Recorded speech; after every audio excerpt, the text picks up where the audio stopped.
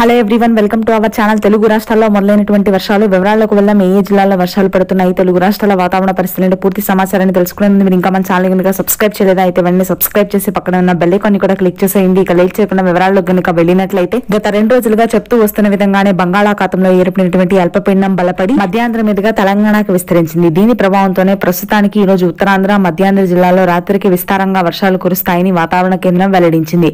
IMD వాతావరణ శాఖ నివేదిక ప్రకారం ఈ అల్పపీడనం మూడు రోజుల పాటు తెలుగు రాష్ట్రాల మీద కొనసాగనుంది. ముఖ్యంగా తూర్పుగోదావరి పశ్చిమ గోదావరి కృష్ణా గుంటూరు ప్రకాశం జిల్లాల్లో ఈ రోజు రాత్రికి మోస్తరు నుంచి భారీ వర్షపాతం నమోదైతే ఇక ఉత్తరాంధ్ర శ్రీకాకుళం విజయనగరం విశాఖపట్నం పార్వతీపురం మన్యం మల్లూరి సీతారామరాజు అంటే ఉత్తరాంధ్ర వ్యాప్తంగా కూడా భారీ ఈదురుగాలితో కూడినటువంటి విస్తారమైన వర్షాలు నమోదవుతాయి. ఆ తర్వాత రాయలసీమలో కొంతమేర వర్షాలు పెరిగే అవకాశాలు ఉన్నాయి ఇవాళ.